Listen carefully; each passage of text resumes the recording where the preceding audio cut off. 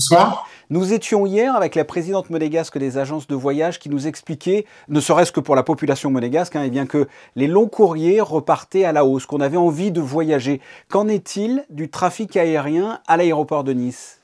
Je pense qu'on est parfaitement en phase avec ce que vous avez eu hier, à savoir que on avait depuis plusieurs mois un trafic européen domestique euh, qui était porteur, hein, puisqu'on a retrouvé, pas complètement, mais on n'est pas loin d'avoir retrouvé le trafic euh, de 2019.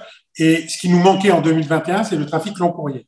Et avec les ouvertures de lignes que nous avons pu avoir au printemps, ben, je rappelle, on a quand même trois lignes vers euh, les États-Unis, on a le Canada qui s'est réouvert, on a évidemment euh, vers le Golfe avec plus de lignes que nous avions avant, et on voit que le trafic repart et que les avions sont plutôt très bien rempli. Alors j'ai lu, j'ai entendu dire qu'il y avait pas mal de, perturbations et que ça se traduit par euh, des retards, des annulations, ainsi que des, fois des problèmes de bagages. Est-ce que vous me le confirmez ou c'est une idée reçue, c'est une légende urbaine? C'est pas une légende, mais ça n'est pas une situation vécue sur l'aéroport de Nice. Il faut bien comprendre que nous sommes un réseau et que quand un avion décolle de quelque part pour atterrir à Nice, s'il y a des soucis sur sa plateforme de départ, ça entraîne des conséquences chez nous. Et en fait, on voit qu'avec une reprise dynamique du trafic, il y a deux phénomènes euh, qui, s'ajoutent. Certains grands, grands aéroports européens euh, sont dans la difficulté. Hein.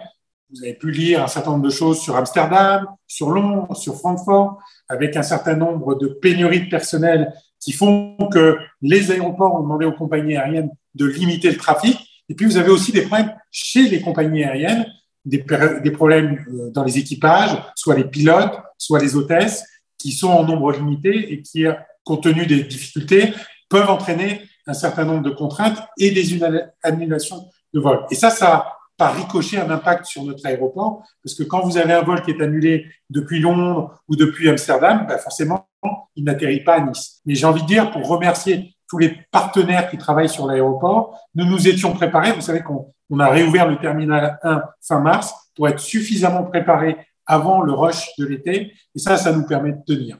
Et quels sont, euh, selon vous, puisque vous parlez de perturbations euh, dues aux compagnies ou, à d'autres aéroports, quelles sont les, les solutions euh, qui peuvent être apportées? Certaines compagnies ont annulé en préventif des vols. C'est le cas de la compagnie SAS euh, compagnie scandinave, c'est le cas aussi de la compagnie Lufthansa, c'est le cas aussi parfois de la compagnie British Airways, qui annule suffisamment en avance pour informer ses clients et pour essayer de leur trouver des, solutions euh, euh, avant que la date du voyage ne, commence. Et pour avoir une, idée du, trafic à Nice, hein, combien de vols par jour d'école atterrissent, il y a combien de passagers? Qu'est-ce que vous avez en termes de chiffres et de fréquentation? On est à peu près à 80 90% du, trafic que nous avions avant. En, termes de passagers, on, est entre 35 000 et 55 000 passagers en fonction des jours de la semaine. Donc, on est quand même dans des très, très fortes journées. Hein. Même si sur la journée, on n'a pas atteint le, niveau record de 2019, à certains moments de la journée, on peut être à des niveaux très proche des niveaux records. Euh, dernière question, qu'est-ce que vous nous conseillez de faire si l'on doit voyager et passer par euh, l'aéroport de Nice là? Ce que je conseille d'abord, c'est de bien s'assurer auprès de sa compagnie qu'il n'y a pas de souci sur le vol concerné, et puis de venir à la fois suffisamment à l'avance, mais pas non plus trop, pour pas avoir à patienter trop longtemps à l'aéroport, mais en, train, en tout cas de prendre suffisamment de temps pour avoir le temps de traitement nécessaire. Ça dépend de votre destination. Si vous partez à l'étranger, eh bien, vous pouvez avoir des contrôles qui vous sont demandés à, l'enregistrement. Voilà, d'avoir suffisamment de temps pour faire les différents process qui sont les vôtres sur l'aéroport. En tout cas, sachez que l'ensemble des personnels de l'aéroport sont motivés et mobilisés pour que les départs en vacances et les retours se passent dans les meilleures conditions possibles. Franck Golnadel, merci d'avoir répondu à mes questions. Merci.